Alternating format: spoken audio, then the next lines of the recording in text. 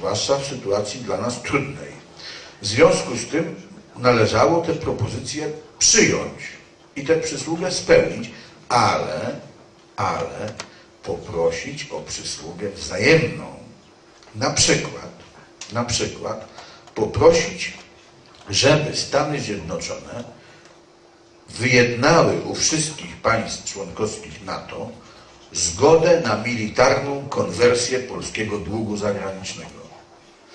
To znaczy, żebyśmy my zamiast płacić raty roczne, a te raty roczne, każda z tych rat rocznych jest równa budżetowi Ministerstwa Obrony Narodowej, żebyśmy mogli te pieniądze za zgodą wierzycieli przeznaczyć na modernizację naszych sił zbrojnych, które są elementem sił zbrojnych Sojuszu Atlantyckiego i są rozlokowane na wschodnim skraju obszaru obrony NATO, więc bardzo ważnym miejscu.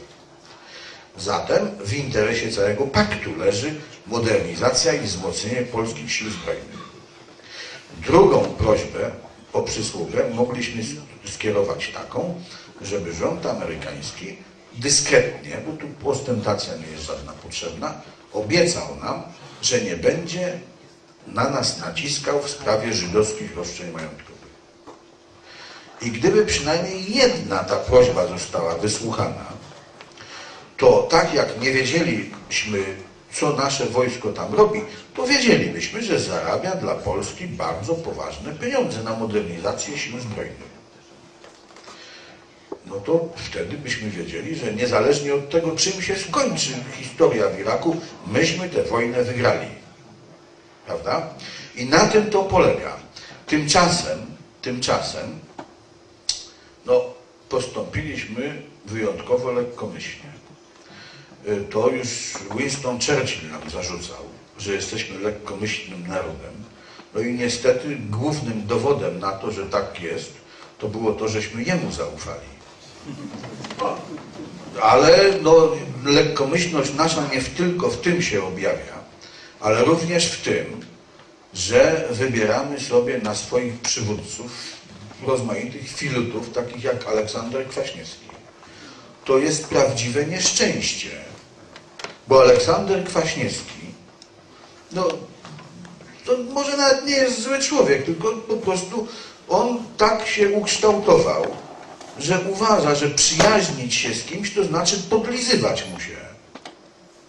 I on y, wyprzedawał, znaczy za, zaprzepaszczał okazje, które istniały, żeby jakieś Polska swoje interesy państwowe realizowała w zamian za iluzję, iluzję, że jak on będzie tak się podlizywał, to zrobią go sekretarzem generalnym ONZ-u albo w ostateczności sekretarzem generalnym NATO. Tymczasem Amerykanie tacy nie są. Amerykanie, cokolwiek by o nich nie powiedzieć, to oni jedno wiedzą, że jak taki facet zdradza interesy własnego kraju, na którego czele stoi, to nie można mu dać żadnej posady, bo on wszystkich zdradzi.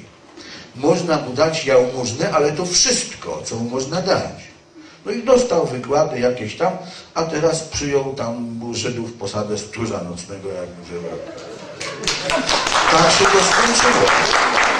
No ale to Państwo się śmiecie, ale dwukrotnie był wybrany na prezydenta to dużą większością głosów. Także rzeczywiście to potwierdza niestety opinię, że jesteśmy wyjątkowo lekkomyślnym narodem.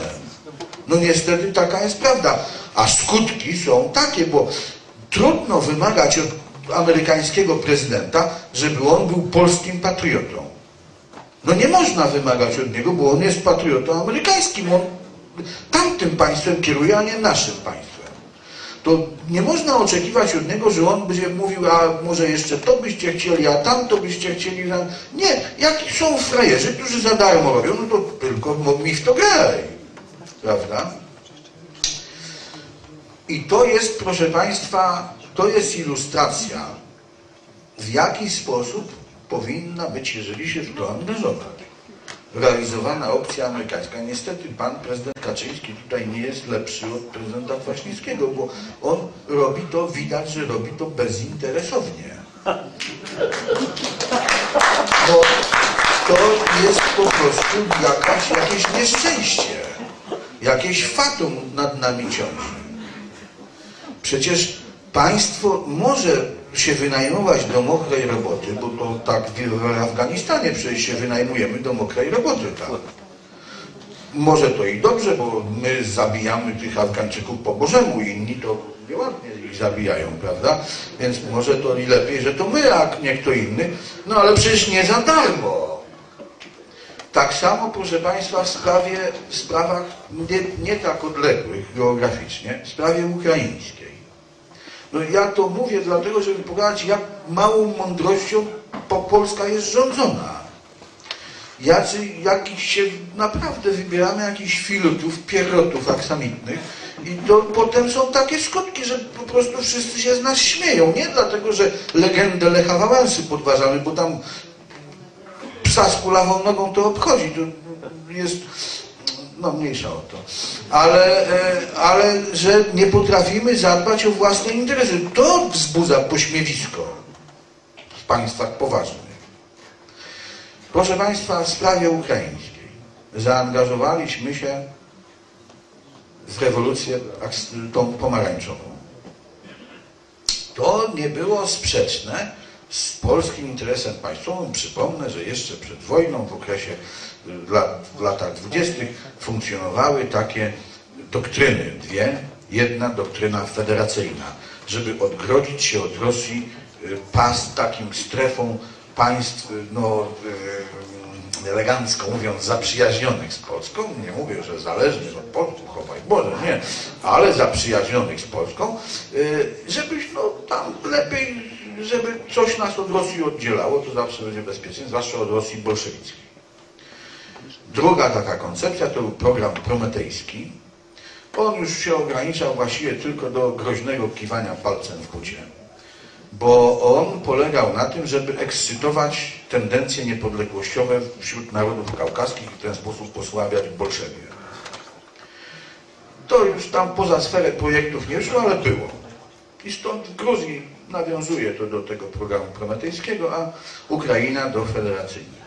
Więc mówię, to przypominam dlatego, że to nie jest sprzeczne z polskim interesem państwowym. Rzeczywiście Amerykanie próbują odpychać Rosję na północny wschód. To nie jest z naszego punktu widzenia złe i dlatego można tę opcję amerykańską, można, jest sens, żeby podejmować się roli dywersanta.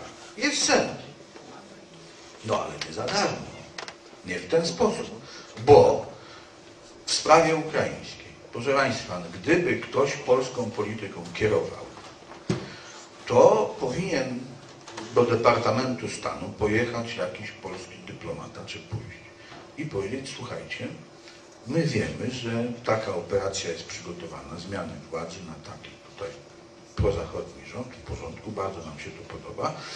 Y, chętnie się do tego włączymy, wesprzemy to wywiadowczo, finansowo, jak tylko tam będzie trzeba, ale jeden warunek, że siłą napędową pomarańczowej rewolucji nie będą banderowcy, a więc najbardziej antypolski kierunek polityczny ukraiński, który przedstawia roszczenia terytorialne względem państwa polskiego. Jeżeli będą banderowcy, to zamkniemy granice, będziemy ich wyłapywać, wydawać Sowieciarzom i tak dalej. No to przynajmniej by była sytuacja jasna. I gdyby zostały jakieś porozumienie w tej sprawie zawarte, to można się wtedy włączać, ale nie na ślepo jeszcze zakochiwać się w Julii Tymoszenko, co do której mam poważne podejrzenia, że jest agentką Kremla po prostu i wychodzimy na idiotów, już nie na lekkomyślnych, ale na idiotów po prostu. Jeszcze w dodatku, e, jeszcze w dodatku, i tu pan prezydent Kaczyński, do którego mam z tego powodu pretensje, no, za, uprawia politykę plucia pod wiatr. Prezydent Juszczenko ekscytuje tam kult UPA i, i organizacji ukraińskich nacjonalnych. Tu stawiają pomniki ludobójcy narodu polskiego Stefanowi Banderze, a my udajemy, że deszcz pada. No nie można takich, że nikt nas nie będzie szanował, jeżeli takie głupstwa będziemy robili.